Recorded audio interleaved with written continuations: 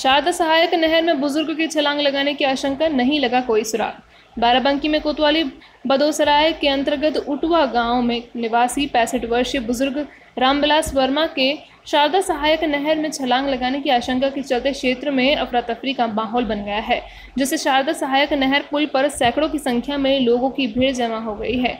इसी बीच ग्रामीणों द्वारा पुलिस को दी गई सूचना पर बदोसराय व दरियाबाद दोनों थानों में पुलिस फोर्स मौके पर पहुँच गई और स्थानीय लड़कों की मदद से बुज़ुर्ग की नहर में तलाश कराई, लेकिन बुज़ुर्ग का कोई पता नहीं लग सका। इसके बाद पुलिस अपनी ज़रूरी कार्रवाई करने के बाद गोताखोरों को भेजकर बुज़ुर्ग की तलाश करने की बात कह रही, कहकर चली गई।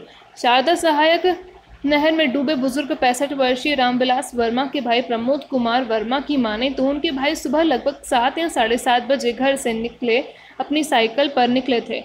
ना ही घर पर किसी से उनकी कुछ कहा सुनी हुई थी और ना ही उन्हें देखकर बिल्कुल भी नहीं कहा जा सकता था कि वह इस समय किसी भी प्रकार के तनाव में थे। लेकिन पुल पर मिली उनकी साइकिल व चप्पलों के मिलने से उनकी नहर में कूदने की आशंका लगती है। अभी तक बुज़ुर्ग का कोई पता नहीं लग पाया है। यूपी क्राइम न्यूज़ के लिए बाराबंकी से जिला संवाददाता आशीष वर्मा की रिपोर्ट। दादा नाम क्या है आपका? प्रमोद कुमार वर्मा। क्या हुआ है? वो हमारे भाई थे। वो साइकिल द्वारा आए थे यहाँ। हम्म। उनकी साइकिल और चप्पल नहर साइड पर पड़ी थी पुल पर। अच्छा। वो बोला पता क्या नाम था उनका? राम विलास वर्मा। कितने बजे घर से निकले थे सात साढ़े सात के आसपास। क्या उम्र रही होगी उनकी?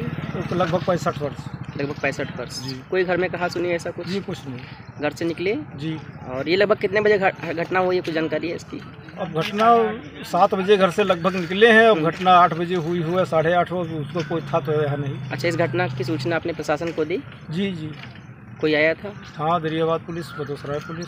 तो क्या निस्तारा निकला कुछ बताया उन्होंने? फ़ोटो वोटो बनाकर चले गए हैं और उन्होंने तीन लड़कों को कुदाया था पानी में। अच्छा। ढूँढने के लिए लेकिन कुछ पता नहीं चला। तो इस वक्त प्रशासन मौजूद तो है नहीं यहाँ पर क्या बताया उन्होंने इसके लिए? उन्होंने बताया कि हम गोताखोर रह रहे हैं पता करेंगे। अभी मतलब कुछ जानकारी मिल नहीं पाई है। जी कुछ आप कहाँ के निवासी हैं? उटवा गाँव। उटवा गाँव। जी।